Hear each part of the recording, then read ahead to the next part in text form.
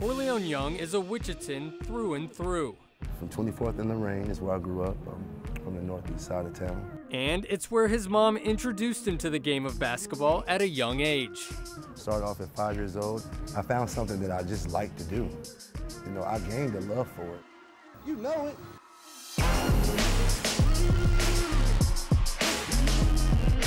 As far as the records I set, the block shots, the rebounds, I had a great supporting cast. I had Laverne Smith, Jamarcus Riggs.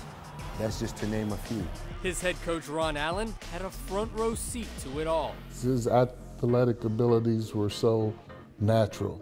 You know, he was a kid that was six seven, six eight, and he could play like a guard. Had a great passion for the game. Uh, he had the whole package. And whether it was the pit, as the old East High Gym was known back then, or other places across the city, crowds came in droves to see the young phenom put on a show. They used to sell out Koch Arena. We had eight, 9,000, packed it out. That was standing room only almost, outside to get your ticket. And I mean, it was just a wonderful environment, and we came out on top. After his junior year, Young would take his talents to Hargrave Military Academy, winning a state title and positioning himself for one of the most important decisions of his life. I'm here today to announce my intent to declare myself eligible for the NBA draft. My mom asked me, what you want to do? She blessed me. And that's why I love my mom uh, to this day, because she blessed me to, uh, to achieve my dream. It would be on June 24th, 1998, Young's dream would come to fruition with a phone call. Everybody went quiet. He said, hey, how you doing? This is uh, the Detroit Pistons. This is Rick Sund, and uh, we want to welcome you. It's the greatest feeling I ever had.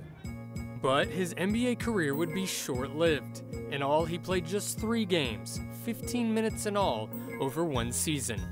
Played a few games. When asked about my year there, teammates that I had, wonderful. They got me through that year.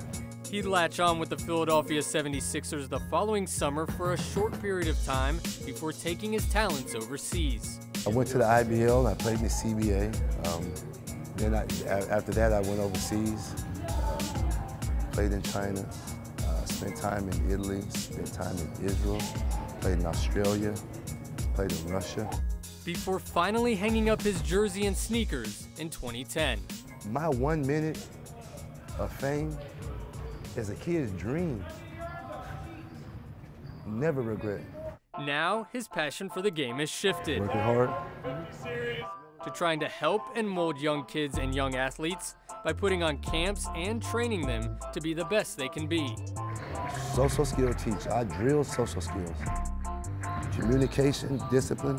He's also taken on a job as an assistant coach for the new semi-pro basketball team, the Wichita Wizards. And he's even co-authored a book with his mentor, Kevin Harrison. The book is called One and Done. Over the course of the last four years, four and a half years, we've got enough content to where I think we really have a good book. I'm gonna put them in my life and how I grew up, the decisions I made, the thought process that I made in making those decisions, the good and the bad. As for the next chapter in the life of Korleone Young, as I found that happiness, and I found that happiness again right back where I came from.